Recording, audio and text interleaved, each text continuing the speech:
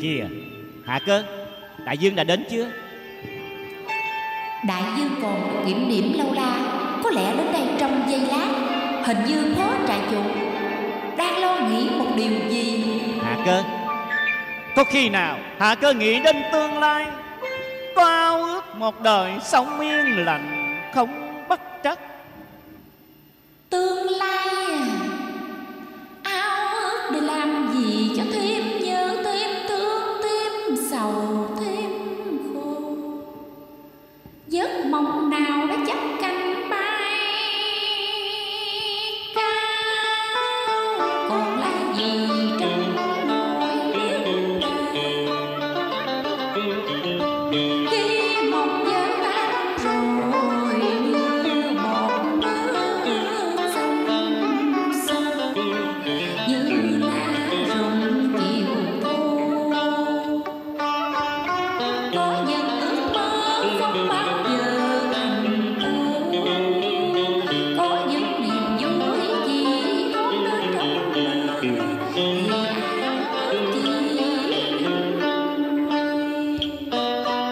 Dù biết rằng ao ước để rồi không Nhưng phút giây nào cũng chợt bấn khoăn. Chợt nhớ, chợt thương, từng kỷ niệm yên mà đêm, Chờ một ngày được sống yên lành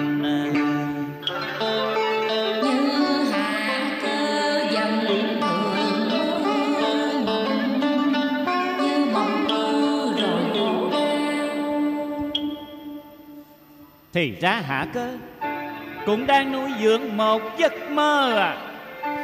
Phải một giấc mơ tầm thường bé nhỏ quên quá khứ trốn hận thù sống yên vui trong cuộc đời nội trợ bên cạnh. Người nào? Âu thiên vũ. Ấu Tiến Dược Gọi ta đây.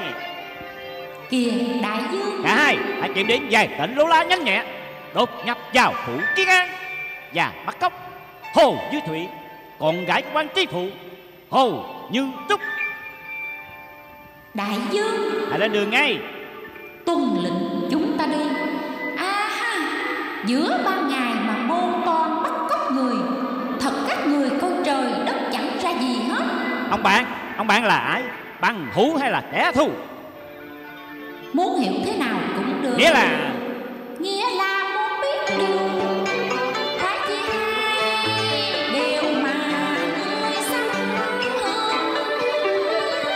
Có quyền lợi gì Mà bảo là Ta sắp thương?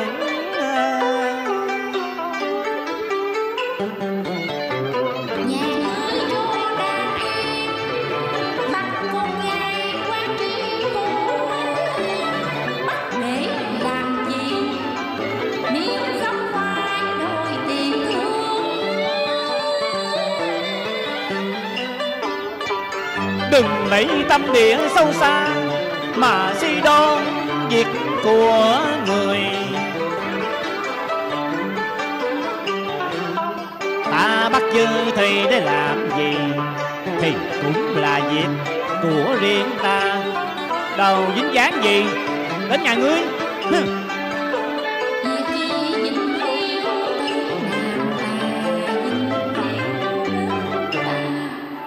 Nhà ngươi là gì của nàng?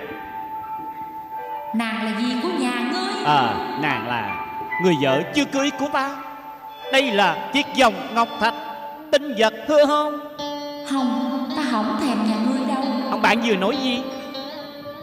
À, à, không, không, không. Ông bạn cứ kể tiếp đi. Mười năm trước khi ai gia đình còn nghèo khó Cùng hôm trao đinh nước để làm tinh Cách đây ba năm. Khi hai đứa trẻ đã bắt đầu khôn lớn Thì cha của nàng đã trở thành quan tri phụ Lời hứa hôn ngày xưa đã bị người ta xóa bỏ. Còn nhục mã phụ thân ta cay đắng đủ điều Đến nỗi người phải lìa đời trong quốc ức. Bây giờ ông bắt cóc nàng để làm gì? Ta cũng không biết nữa. Có lẽ là để gặp lại một lần Để nói lên những lời sao vui Trước khi trở thành hai kẻ tự thù Kẻ tự thù. Phải. Nhưng nếu nàng vẫn còn yêu anh Sao người biết? Tại vì Vì sao hả? Anh hãy nhìn kỹ xem người đang đứng trước mặt anh là ai. Kia hồn như tùy Phải.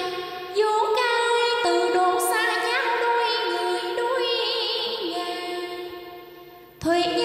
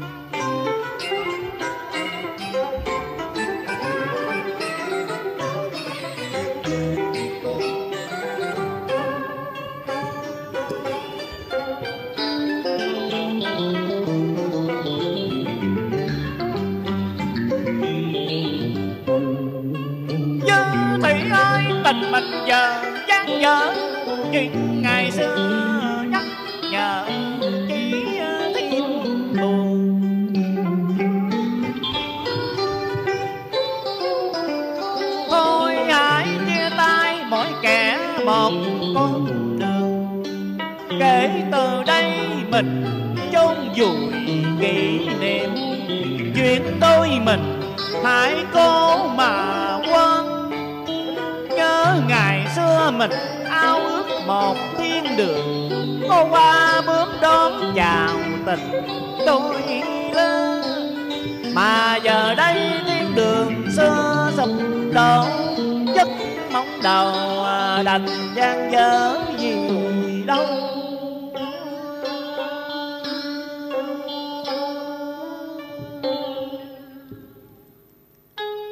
Ông Thiên Du Em vẫn yêu anh như ngày ta ta vẫn yêu nàng nào có thay đổi gì đâu.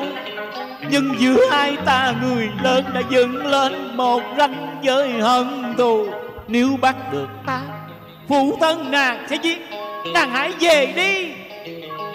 Ông Thiên Du Lúc vừa gặp Anh bảo là muốn gặp em một lần sau cuối Để làm gì? Sao bây giờ anh lại đổi xuôi em? Ta muốn gặp lại nàng để hát cho nàng nghe một bài ca thông biệt.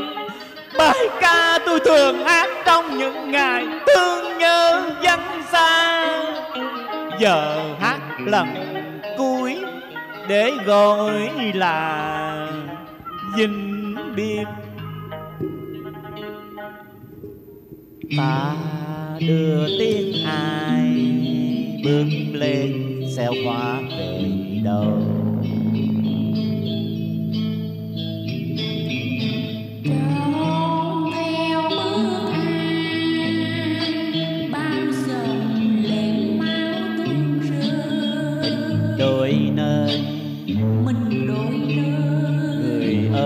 tình ta giờ đôi nơi.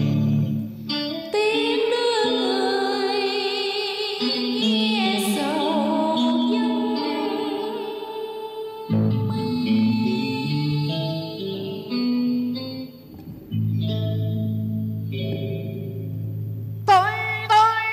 nàng hãy về đi, đừng lại đây làm chi nữa. Bài hát vừa qua những lời sau cuối rồi, mai đây mình không gặp nữa bao.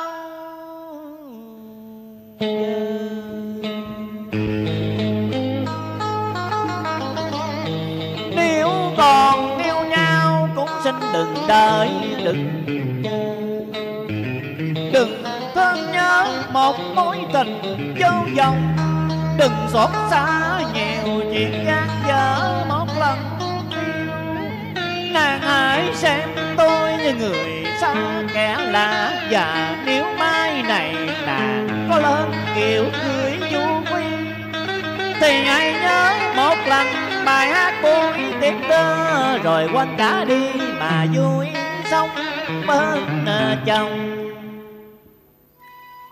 Không âu thiên dương đại dương, phó trại trụ bảo tôi về thưa lại là tất cả đã sẵn sàng. Hừ, nhưng bây giờ thì chắc đại dương không đi được nữa. Không hạ cơ à. Đây là người bạn lúc ấu thơ. Với thụy còn đây là hạ cơ. Người bạn của tuổi giàu yêu của thời khôn lớn Hừ, vậy mà bây giờ nghe những lời trách móc của vũ ca em tưởng chỉ có mình em mới là người có lỗi. Bây giờ thì thôi vĩnh biệt Duy Thủy hạ cơ đây chỉ là hạ cơ chỉ là kẻ đứng ngoài rào tình cảm. Mãi nhìn theo người ta im âm mà quên cả sớm khuya xuống làm dây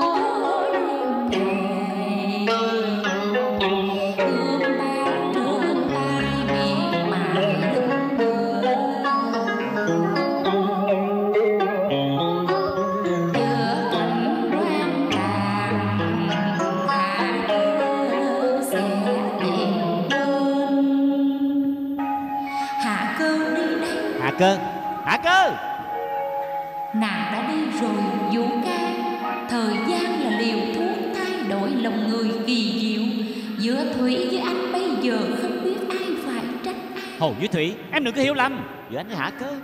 Chỉ là bán đồng cảnh ngộ. À ngộ quá. Đại huynh ơi Ở đây có một cặp vợ chồng gây lộn vui lắm. Cô bé đừng xen vào chuyện của người khác. Đại huynh Đại huynh ơi Con nhỏ này nó nàn em nè Không chịu đâu. Chiều các anh em đi tới đâu là? Có chuyện tới đó à? Xin tráng sĩ và cô nương bỏ lỗi cho. Đó Đại huynh bên người ta. Đại huynh ăn hiếp em. Em về em mét với phụ thân cho mà coi. Đi cưới vợ cho đại huynh Chứ bộ đi cưới chồng cho em sao? Đại huynh tới phủ Kiến An một mình đi. Ông Ông đến phủ Kiến An để làm gì? Kìa sao cô nương sửng sốt? Tôi là chiêu việt nam con trai quan tổng đốc tứ xuyên và người vợ sắp cưới của tôi là hồ như thụy Là Hồ Như Thủy. Hồ như thụy nàng nàng lừa dối ta. Không Ông Thiên Dụ. Nàng là hồ như thủy. Còn gã này là ai?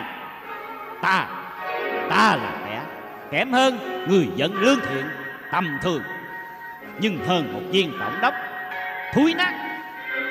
Cầm đi ta sẽ giết nhà ngươi. Vì tội dám ăn nói ngang tàn dưới vị công tử. Còn quan đóng đốc cương triều. Và tối thứ hai mà nhà ngươi con dấu nhèm sự có mặt nơi này, người vợ chưa cưới của ta. Nhà ngươi ăn nói ba qua còn hơn một thằng vô lôi nè, đừng tưởng lúc nào mình cũng hơn thiên hạ hết chứ. Vì trên cõi đời này chưa chắc là ai đã hơn cấm đi đừng nhiều lời lắm chuyện ta muốn giết nhà ngươi lúc nào cũng được. Nhưng chưa dội ra tay vì ta muốn biết nhà ngươi có liên quan gì đến người con gái kia không?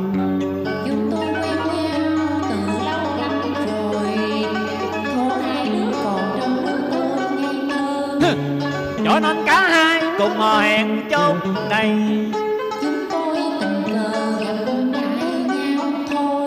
lão lão lão ta sẽ giết thằng khốn nạn này.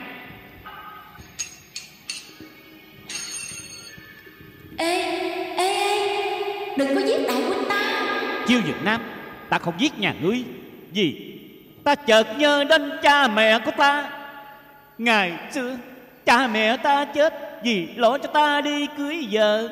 Ngày nãy không lý nào ta lại giết chết ngươi sao? Thôi tất cả hãy đi đi ngon ta chịu nhà ngươi rồi đó. Nè hãy cho biết tên đi. Âu Thiên Vũ. Mai mốt về ta ghé ta hỏi cưới nhà ngươi đó Thôi nghe. thôi đi đi. Ở đó nói không hoài à. Với Thủy nàng cùng đi với chúng tôi không? Dân âu thiên dụ Tất cả đã đi hết rồi. Ta Ta không còn gì nữa cả